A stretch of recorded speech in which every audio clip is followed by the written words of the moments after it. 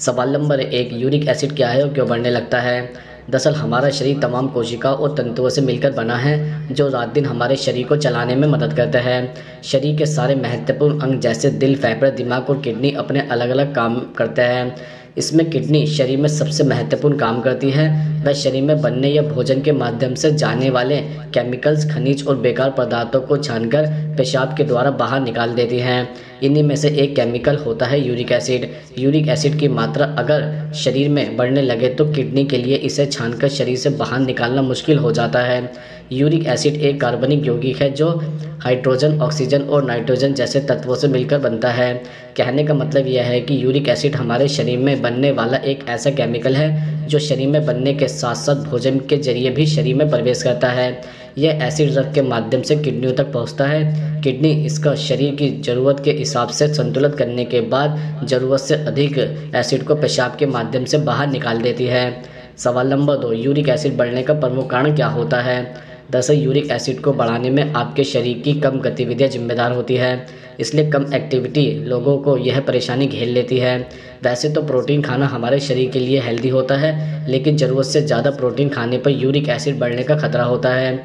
इसके अलावा, हम अपने शरीर को स्लिम रखने के लिए अक्सर तेल और घी खाना बंद कर देते हैं, लेकिन शरीर के लिए गुड फैट की ज़रूरत होती है। बहुत कम फैट वाला खाना भी यूरिक एसिड को बढ़ाता है। इसके अतिरिक्त हमारे शरीर का मेटाबॉलिज्म यानी चयापचय धीमे होने से यूरिक एसिड को बढ़ जाता है।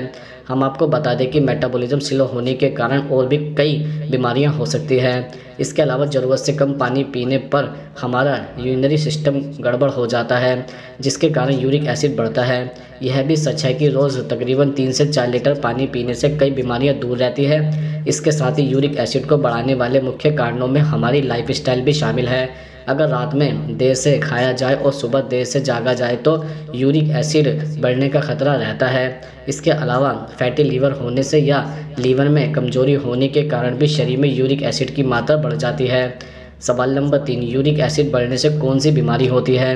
दरअसल शरीर में यूरिक एसिड का स्तर बढ़ने से जोड़ों में दर्द की शिकायत हो सकती है। जोड़ों में दर्द और सूजन को गाउट कहते हैं। यह परेशानी यूरिक एसिड का स्तर सामान्य रहने पर भी हो सकती है। इसके अलावा शरीर में यूरिक एसिड का स्तर बढ़ने पर किडनी की समस्या भी हो सकती है। यूरिक एसिड बढ़ने से यूरिन डिस्चार्ज करने में परेशानी होती है। यूरिक एसिड हमारे शरीर में ब्लड के माध्यम से किडनी तक पहुँचता है और यूरिन के ज़रिए यह शरीर से बाहर निकल जाता है। लेकिन जब किडनी इसे फ़िल्टर नहीं कर पाती तो यह एसिड हमारे शरीर में इकट्ठा होने लगता है। इसके बढ़ने से किडनी पर दबाव पड़ता है और किडनी की समस्या पैदा होती है। इसके अति यूरिक एसिड का बढ़ना एक ऐसी परेशानी है जिसकी वजह से उंगलियों में सूजन आ सकती है या फिर जोड़ों में गांठ की शिकायत हो सकती है। इसके अलावा हाई यूरिक एसिड के मरीजों के हाथ और पैरों की उंगलियों में असहनीय दर्द हो सकता है। यह दर्द कई बार सुइयों के चुभने की चुभन भी दे सकता है।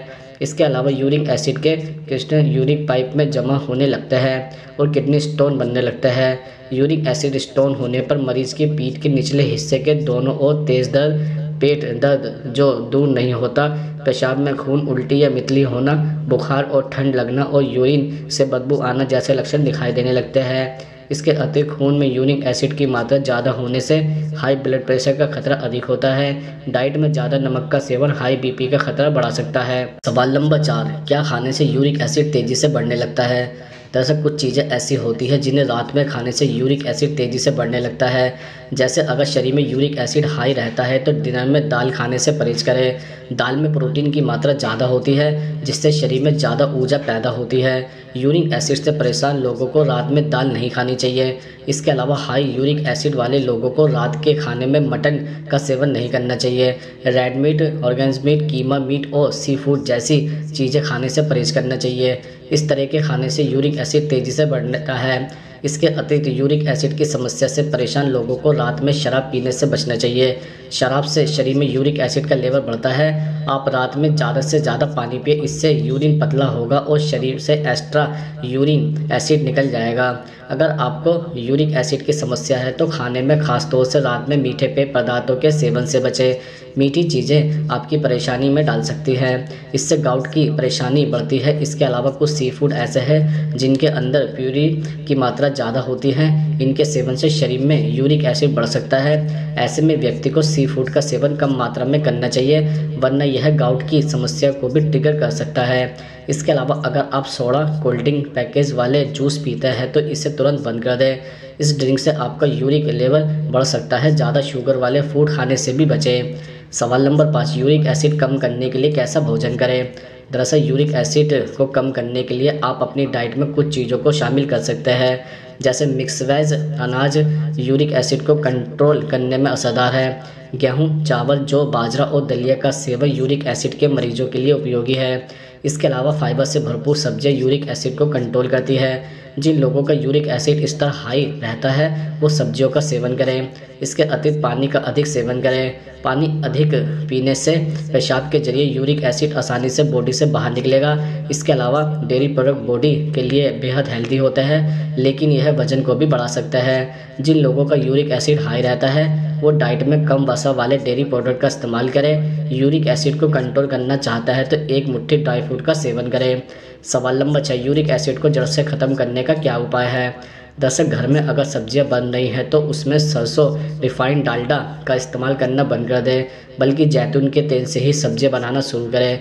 जैतून के तेल में मोनोसेचुरेटेड फैट मौजूद होता है, जिससे यूरिक एसिड का लेवल कम हो सकता है। इसके अलावा प्याज खाकर भी आप यूरिक एसिड को कंट्रोल कर सकते हैं।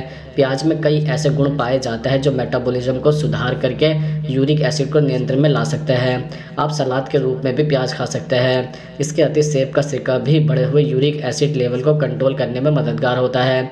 इसमें एंटीऑक्सीडेंट और एंटी इन्फ्लेमेटरी गुण होते हैं, जो शरीर में मौजूद यूरिक एसिड को कंट्रोल करने के साथ खून में पीएच लेवल को बढ़ाने में मदद करता है। इसके अलावा बार बार यूरिक एसिड बढ़ जाता है तो आपको अपनी डाइट में नींबू पानी भी शामिल कर लेना चाहिए।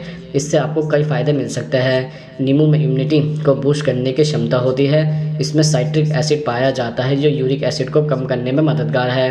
आप रोज़ाना गुनगुने पानी में नींबू का रस मिलाकर पी लें। इससे बढ़ा हुआ यूरिक एसिड कंट्रोल हो जाएगा और वज़न घटाने में भी मदद मिलेगी। इसके अतिरिक्त बेकिंग सोडा यूरिक एसिड के स्तर के लिए बहुत फ़ायदेमंद माना जाता है। यह अल्कलाइन के लेवल को बनाए रखता है, जिससे यूरिक एसिड को घुलनशील बना देता है। सवाल नंबर सात, यूरिक एसिड कंट्रोल करने के लिए कौन से फल खाएँ? तथा ज़्यादा सिटिक फ़ूड यूरिक एसिड को कम करने में असरदार साबित होते हैं। संतरा भी उन्हीं फलों में से एक है यह शरीर से टॉक्सिन बाहर निकालने में मददगार साबित होता है। यूरिक एसिड कम करने में भी इसका असर देखा जा सकता है। आप विटामिन सी से भरपूर संतरे को सादा खाने के साथ ही इसके जूस को भी डाइट का हिस्सा बना सकते हैं। इसके अलावा यूरिक एसिड से छुटकारा पाने के लिए फाइबर से भरपूर सेब का सेवन किया जा सकता है। फाइबर यूरिक एसिड कम करने में अहम भूमिका निभाता है। इसके अलावा सेब का सिरका भी डाइट का हिस्सा बनाया जा सकता है। सेब आप सादा खा सकते हैं या फिर एक गिलास पानी में एक चम्मच सेब का सिरका डालकर पिए। इसके अलावा प्यूरिन बढ़ने पर ही यूरिक एसिड की मात्रा भी शरीर में बढ़ जाती है। केला एक ऐसा फल है जो शरीर में प्यूरिन की मात्रा कम करने पर अच्छा असर दिखाता है। खासकर यूरिक एसिड में गाउट से परेशान लोगों के लिए केला खाना फ़ायदेमंद साबित होता है। इसके अतिरिक्त सेहत को कीवी पर कई तरह के फ़ायदे मिलते हैं। इससे यूरिक एसिड कंट्रोल होने में भी मदद मिलती है। साथ ही शरीर अलग अलग दिक्कतों से मुक्त होता है। सो, अलग। इसमें vitamin C, vitamin E folate और पोटेशियम भी अच्छी मात्रा में पाया जाता है। यह एक महँगा फल भी है। अगर आप इसे अपनी डाइट का हिस्सा बनाएँगे तो आपकी सेहत पर इसका प्रभाव साफ़ साफ़ नज़र आने लगेगा।